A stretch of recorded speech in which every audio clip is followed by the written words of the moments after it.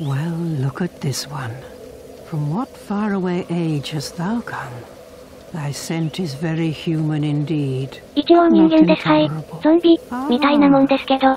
そういえば、ジョージ・エイロメロ監督も亡くなったんだよな。あの人いなかったら、ゾンビってキャラクターも、多分いなかったんだよな。ゾンビ、というキャラがいなかったら、ホラー映画や、ホラーゲームがここまで発展することもなかっただろうな。まさにホラー界の神様的存在だったよ。よく友達とくだらねえ議論してたっけか。ゾンビだらけの世界になったらどうするってな感じの、もし武器を持つなら何がいい？やっぱバールが最強だろ。いや、スコップは万能だぞ。みたいな、はは。あれところでこのキノコは何を言ってたんだっけすいません先生、話聞いてませんでした。廊下に立っときます。つまりあれだな、深淵の主に、良い神様がハイエースで拉致られたから、解放してくれ、ってことだよな。そう言われてもね僕ついさっき、良い闇様の死体を見てきちゃったんですよ。なんかやる気出ないわ。そんで、助けてもまた、ゴールドゴーレムに捕まっちゃうわけだし、うーん、でもしゃあないか。今の時代の彼女はちゃんと生きてるわけだし、きっと今に誰かが助けてくれて、幸せな未来が値を待ってる、っていう、希望も持ってるんだろうし、将来がどうあれ、その人に希望、だけでも与えられれば、それはそれで救ったことになるんだろうな。まったく。これだから未来、ってやつは見たくないんだよ。タイムマシーン。とか絶対に作ってほしくないわほんと。そんで、色々と敵だとか、アイテムとかあるんですが、全スルーします。どうせ大したアイテムもないし、これ以上尺を取るわけにもいかん。次のボス、アルトリウス戦に向かうときは、この壁際を走れば、敵をスルーできます。未来では崩れてなくなってますが、あれは闘技場、ですな。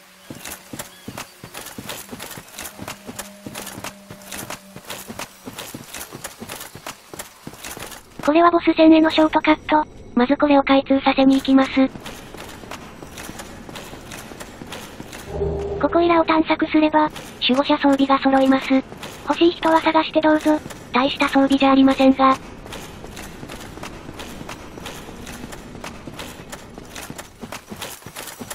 ここは多分、未来ではキノコたちがいた場所かな？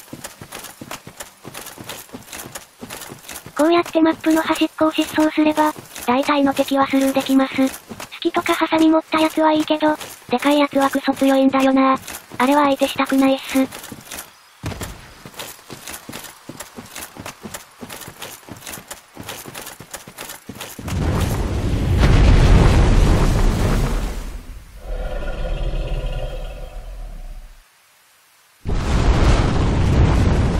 黒竜カラミット。奴がこのゲーム中、最強最悪の、ボス、真のラスボスです。こいつは最後に、倒します。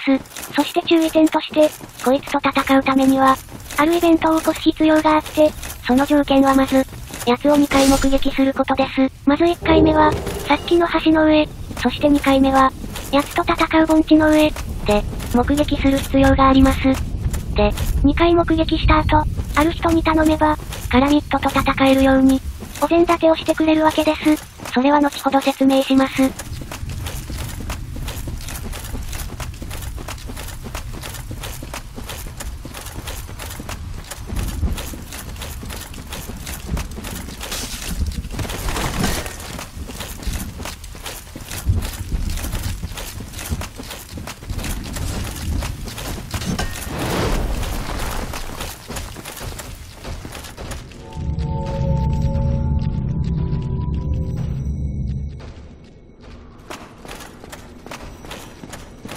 こがボス戦への霧ですが、まず書とかを開けに行きます。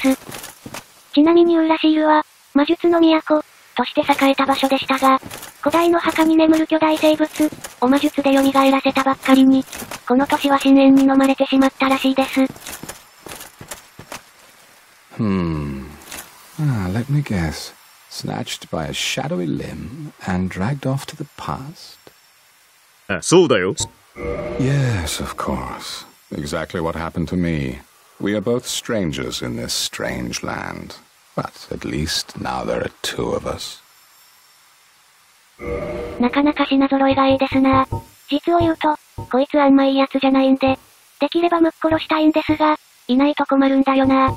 まああれだ、最後に殺してやるよ。殺すのを最後にしてやる。So long.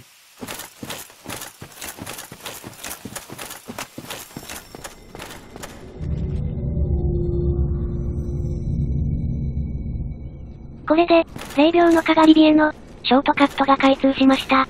では、王の四騎士最強、と歌われた、アルトリウス様に謁見しに行くか。さっきの話の続きですが、マヌスを、復活させる要素そのかしたのは、あの闇なデカース、です。4人の皇王と同じパターンですな。小論度は、深淵が進行する前に、3人の封印者が水で蓋をしてしまったので、深淵の進行を食い止めることができたのですが、ウーラシールはそうもいかなかったので、アルトリウスが深淵の進行を止めに来たんですね。うんで、その結果どうなったかというと、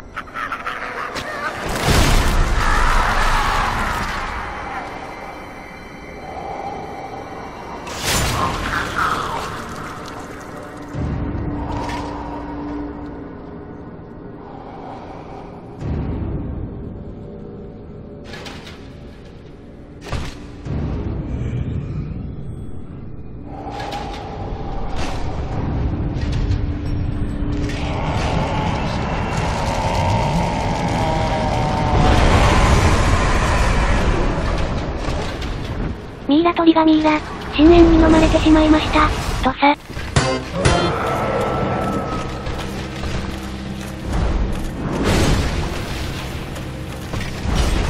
言い伝えでは、アルトリウスが深淵の進行を止めた、と言われているのですが、深淵を止めたのは、どうやら彼ではなかったようです。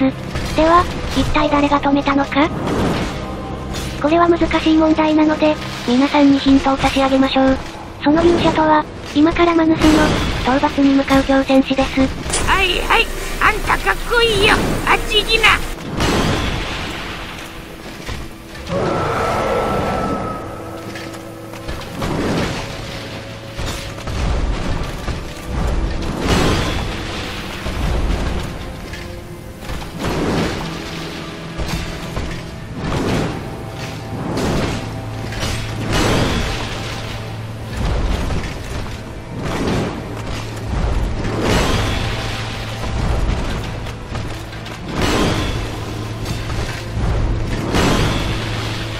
たら深淵まとい、を発動します。アベリンか投げナイフで阻止しましょう。もしくは追っかけて連続攻撃。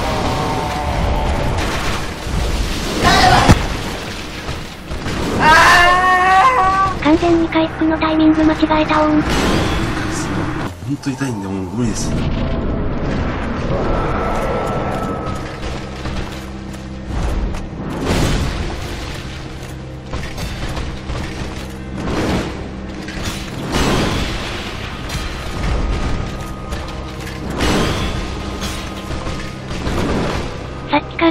攻略に関して、特に何も言ってませんが、まあ特にないっす。攻撃パターン覚えて、まあ頑張ってくれや、としか言いようがない。受け地の高い大盾でガードしときゃなんとかなるっしょ。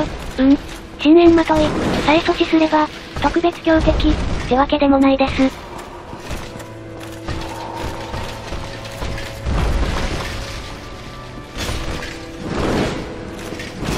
アルトリウスのソウル、を使って深淵の体験、を作ったら、R2 の両手強攻撃で、あの空中前転切り、ができます。ただし、製造コストがクソ高い上に、要求スキルもクソ高い、そして弱い。激しくおすすめしないネタ武器です。はい。もう二度と作らねえ。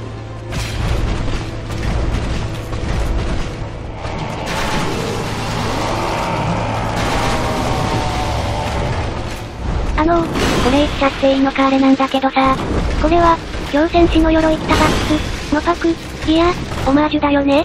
ガッツも左手ないし、ま、しゃあないよね。世の中いろんなものをパク、いやオマージュして、いろんなキャラができてんだから、うん、ミッキーマウスも、ネズミのオマージュだし、ピカチュウも、ネズミのオマージュだし、ネズミ先輩もネズミのオマージュだし、ネズミコウも、ネズミの、あれ？なんか違うぞ。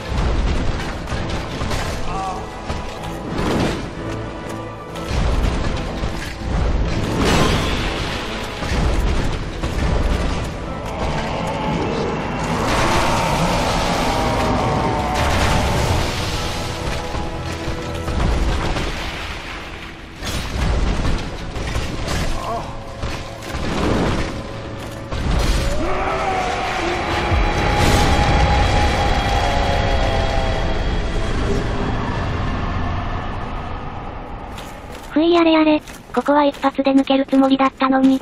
つまらんミスしちまったぜ。でもまあいつものことだ。ウピ主の通常運転だ。ちなみにここは、マルチ専用の決闘場です。で、ところどころに紺色のペンキ、みたいのが貼り付いてますが、あれが深淵のエキス、というか成分、というか、まあうまく説明できませんが、あれがどんどんいろんな場所にへばりついて、深淵が増殖していくわけです。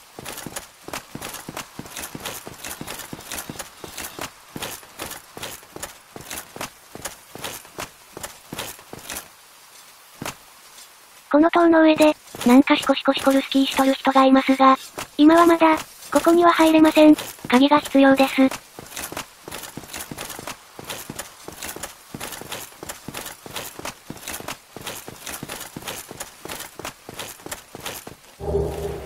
ヒデオのソウル、昔は、ヒデオ、って名前の人が多かったんだなそういえば、僕は結構長いこと、月決め、のことを月局、って呼んでて、しかも月局、という駐車場管理会社が、日本中の駐車場を、管理してるんだと思ってました。ああ面白いふふん。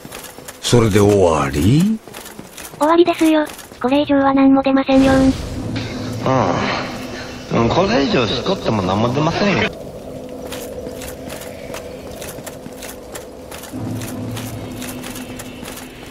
今から、さっきのシコシコおじさんのいる塔の鍵、お取りに行きます。あと、ここのかがり火へのショートカット開通。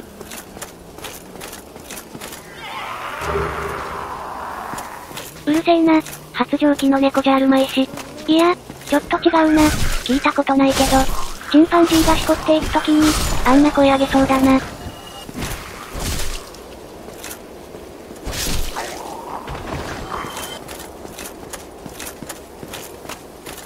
これが初トカのエレベーターです。当たり前ですが落ちると死にますよ。なんでそんな当たり前のこと言うかというと、僕さっき落ちたからです。前も落ちたんです。ひどいでしょ？マジで病院行こうかしら。なんでかな？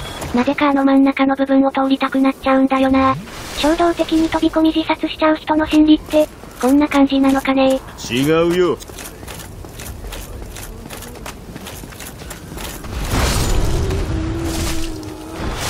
この黒魔術師が、一番厄介なモブキャラです。魔法が超痛い上に、強靭削りも強いので、確実に動きが止まります。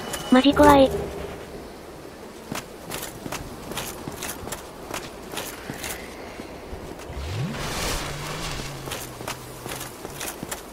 階段を降りる前に、ちょっくらアイテムの回収をしに行きます。マヌスと戦う際の重要アイテムです。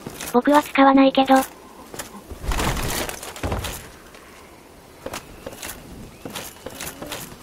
たまに聞こえてくる甲高い声。あれなんだ？廃車で歯をドリルで削られる子供の叫び声と、ドリルの音が合わさると、あんな音が出そうだな。だからそれやめろや。マジクソいてえじゃねえか。泣くぞこら。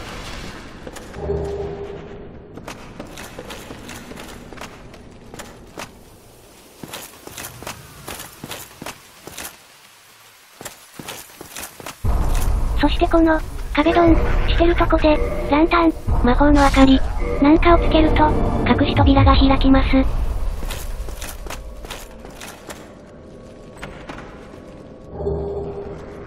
うーんこれはね使いこなせる人からすれば、実にありがたいアイテムだと思うんだけどさ、ボス戦の最中に、瞬時にアイテム切り替えて、アイテムボタンを押す、という作業が僕にはできないんだよな。それならエストビン固定しといた方が安心感あるし、で、アイテム変えたら、またエストに戻さなきゃならないんだけど、それをうっかり忘れて、回復したいのに銀ペン発動。結果回復遅れてアボン、ってパターンが多いんで、使うのやめました。マヌスの魔法は、潔く胸とお尻で受ける覚悟です。下の宝箱に闇魔法があったはず。ここに来るのは一周目だけで OK です。アイテムさえ取ってしまえばもう来る必要ないです。なんでこれ以上飛んだよもう十分でしょ日本だったらもういい加減にしてくれよもう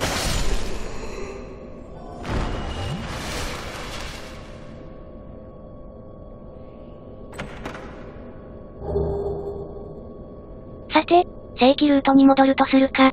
しかしマヌスはいいとして、問題はやっぱカラミットだよな。奴との対戦を考えると、なんだか憂鬱になってくるよ。きっと消毒されまくるんだろうな。